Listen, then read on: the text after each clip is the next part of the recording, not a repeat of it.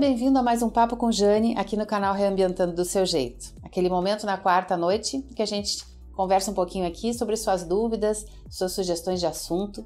E hoje eu trouxe organização de obra.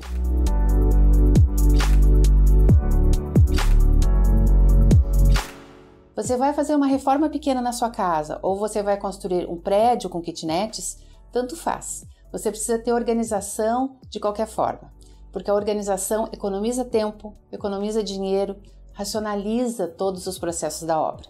Então a gente precisa se organizar e uma das partes fundamentais da organização, que é até previamente a obra, é o cronograma de obras.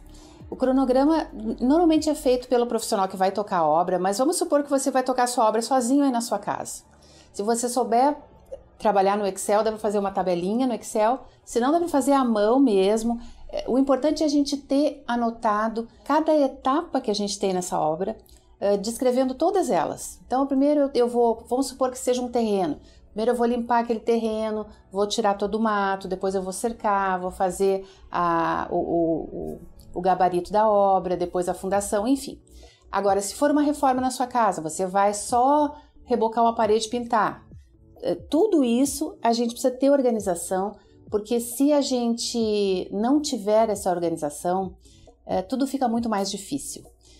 Por exemplo, no cronograma dessa obra que eu estou fazendo agora no apartamento 2 em 1, se você não está acompanhando ainda, vou deixar a, a indicação aqui no card para você dar uma olhadinha e também lá na, na, na descrição desse vídeo. Nessa obra, por exemplo, a gente tem várias etapas. Eu tenho reforço estrutural, eu tenho instalações elétricas, hidrossanitárias, revestimentos, uma série de etapas.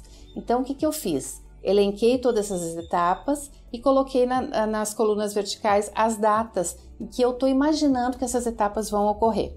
E depois embaixo eu tenho uma linha para colorir uh, quando ela realmente foi realizada. E ali a gente tem como perceber se a obra está atrasada, se a obra está adiantada e tem como tomar atitudes a respeito disso. Se a obra estiver atrasada, então quem sabe eu consigo adiantar alguma fase que seja mais lá na frente, consigo encaixar e colocar dois profissionais trabalhando ao mesmo tempo um numa, numa, numa atividade e outro noutra, para que eu consiga trazer de novo essa obra para os eixos. Então esse cronograma ele é bem importante por isso, porque a gente tem o domínio da obra, a gente sabe quando vai ter o desembolso, quando vai precisar comprar o revestimento, uh, em que fase a gente vai precisar comprar os canos. Por exemplo, eu tenho ali no meu, no meu cronograma que eu vou instalar o revestimento na parede do banheiro daqui a 45 dias e eu vou comprar numa loja que tem pronta entrega que vai me entregar em uma semana. Então, se eu for comprar isso agora, vai ficar me atrapalhando lá dentro da obra durante 45 dias esse, esse revestimento. Então, através do cronograma, eu tenho como saber que uma semana antes eu vou lá e compro aquele material que eu vou precisar. Então, tudo isso faz parte da organização da obra. E nesse cronograma a gente não pode esquecer que tem os dias de folga. Tem sábado, domingo, tem feriados. Esses dias não contam. Por exemplo, a gente está. O, o, o rapaz que vai assentar lá o, o, revestimento da parede do banheiro, ele diz: Ah, isso aqui, uh, doutor, eu faço em sete dias. Sete dias de trabalho. Então são cinco dias e mais dois da outra semana. A gente tem que cuidar essas coisas para fazer no cronograma, para não deixar uh, um cronograma assim fictício, que não vai funcionar, porque tem os dias que não se trabalha lá. E, e, outro item, assim, pensando em folga, é que a gente tem que deixar uma folguinha, não só os dias de folga, como uma folguinha para cada etapa. Então, supondo, o, o, rapaz pensou que vai fazer aquele, aquele revestimento em sete dias. Vamos deixar oito, nove, dez dias. Vamos pensar assim, né? Porque pode dar algum, algum imprevisto, pode queimar a máquina dele, pode ele ficar doente, pode, né? Então a gente deixa sempre uma folguinha para uh, computar aí esses imprevistos que a gente não tem como, como prever antes. Por isso já são imprevistos. E por falar em imprevistos na obra, não pense que uma obra, por ter uma pessoa técnica administrando, como é o meu caso nesse apartamento 2 em 1, um, que não tem perrengues. Tem perrengue sim, tem bastante perrengue. A diferença é que o proprietário não se envolve nesses perrengues, a gente aqui resolve uh, tudo por ali. Então vou falar sobre eles também, vou falar no próximo vídeo. E se você não quiser perder nada desse, desses assuntos e, e, ficar por dentro de tudo que a gente fala por aqui, aproveita e já se inscreve aí no canal e já deixa aquele curtir que ajuda bastante no desenvolvimento, no trabalho da gente por aqui. Então, agora que você já organizou a sua obra previamente, antes de começar, já fez lá o cronograma, já tem na cabeça mais ou menos as datas que vai ter que comprar os materiais, uh, as datas que esses materiais vão chegar na obra sem atrapalhar outras etapas. O que, que eu quero, por exemplo, com fio de elétrica na minha obra, se eu estou trabalhando com demolição, né? Então, pensar direitinho nessas etapas para que uma não atrapalhe a outra. Agora que está tudo organizado, então vamos falar sobre a organização lá dentro do canteiro de obras. Quando a gente está falando numa obra que começa do, do, do, solo, que vai fazer a fundação e que vai ter o canteiro de obras, a gente tem que pensar sempre em cercar essa obra com tapumes, porque para evitar lá os furtos das coisas que estão lá dentro, ferramentas e materiais, enfim. E também a gente precisa ter um galpão uma, uma casinha, algum lugar que a gente possa trancar com chave e possa guardar ali as coisas que não podem ficar na chuva. Então, o cimento, por exemplo, não pode ficar no tempo. Areia, brita, tem coisas que ficam, as escoras, tem coisas que ficam na chuva no terreno. Outras que não podem, que tem que ficar abrigadas da, das intempéries, como é o caso do cimento. Então a gente tem que prever um cantinho para esse galpão num lugar que ele não vá atrapalhar depois a construção. E depois, quando a gente começa a receber os materiais nessa obra, a gente tem que procurar organizá-los por classificação. Então, por exemplo, as escoras ficam todas num, num canto, a brita no outro, e a gente chama de chicanas, que é um, a gente pode dividir até com o próprio chapa de compensado, lugares onde vão colocar a brita, a areia, às vezes tem mais de um tipo de areia, tem areia média, areia grossa, areia fina. Então a gente precisa dividir essas coisas porque se joga no meio do terreno, uma coisa vai misturando com a outra, vem a chuva, é perda de material, perda de dinheiro. Então a gente organizando essas coisas no canteiro da obra, a gente evita acidentes, evita de ficar tendo que pular por cima das coisas. Quer ver me deixar assim nervosa chegar numa obra que está tudo espalhado, a gente não consegue nem caminhar naquela obra. Isso é uma coisa que atrasa o serviço do pessoal da obra também, porque eles, até para ir ali buscar uma ferramenta, tem que fazer uma voltinha por aqui, por ali, aumenta o risco de acidentes, né?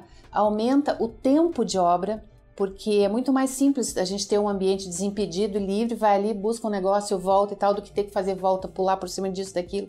Então, a bagunça é uma coisa que atrasa a obra, faz perder dinheiro e tudo de ruim, né? Ah, os, inclusive os empreiteiros ou próprios, os próprios pedreiros, os operários que estão trabalhando ali, muitas vezes a pessoa não vem com essa organização na sua, na sua educação, né? Na, na, na sua formação, vamos dizer assim. Tem pessoas que são muito organizadas, ah, limpas, o seu ambiente de trabalho e tal, e outras pessoas que são muito bagunçadas. Isso independe de classe social, independe de idade, independe, né? Isso tem, é, varia de pessoa para pessoa. Mas quem está tocando a obra, ou mesmo o proprietário da obra, pode exigir que essa obra seja organizada e limpa. O que, que eu quero dizer com uma obra limpa? Lógico que a obra vai ter poeira, vai ter sujeira de obra e tal. Que eu quero dizer assim, ó, bagana de cigarro, eh, coisas, lanche que o pessoal fez, amassou e jogou fora no chão, lixo, porque as pessoas fazem uh, almoçam às vezes dentro da obra e tal, lixo dentro da obra, coisas que não vão mais se usar, por exemplo, um interruptor de, de, de tomada, um interruptor ou uma tomada, vamos supor. Abre a embalagem, joga aquela embalagem no chão e para usar a tomada na parede, aquilo fica tudo virado, né? Então é muito importante ter essa organização na obra, porque isso vai economizar muito na sua obra. Eu já vi empreiteiro perder ferramenta na obra não sabe onde é que colocou o martelo, não sabe onde é que colocou a furadeira, porque aquilo é tão bagunçado. Então, assim, eu sou muito chata com isso e acho que é muito importante, assim, a gente uh, cobrar das pessoas que estão ali trabalhando que aquilo seja um lugar organizado. Isso vai economizar o seu dinheiro, pode ter certeza, e vai abreviar o tempo da sua obra. Eu falei num canteiro de obras quando a gente vai fazer a, a partir do, do alicerce ou mesmo uma reforma, mas isso vale também para uma obra que seja dentro de um apartamento. Nesse meu caso, eu estou fazendo essa obra dentro do apartamento. Teve uma fase na obra que eh, eu não conseguia nem entrar e eu sou bem exigente com isso. E isso faz parte lá do vídeo dos perrengues. Vou contar depois para vocês. Não vai ser aqui, vai ser no próximo. Espero você por lá. E claro que não podemos esquecer de alguns detalhes pequenos que fazem a diferença na obra, né, gente? As utilidades térmicas da soprano, por exemplo, ajudam muito os trabalhadores a se organizarem. Na obra, a gente está com essa bombona de 9 litros que deixa a água bem fresquinha o dia todo para o pessoal. A gente recebeu também as marmitinhas térmicas que, que mantém a comida do pessoal quentinha e a garrafa térmica que conserva o cafezinho. aquecido. que isso também é bem importante, a qualidade de vida para as pessoas que estão trabalhando ali. Então espero que você tenha gostado dessas dicas, que tenham sido úteis para você. Pode ter certeza que eu sou a pessoa que conheço obra e que elas são muito úteis. Utilize porque você vai, vai tirar proveito disso. Agradeço sua presença até aqui. Um grande abraço e até sábado, quando a gente tem mais um vídeo por aqui. Chao.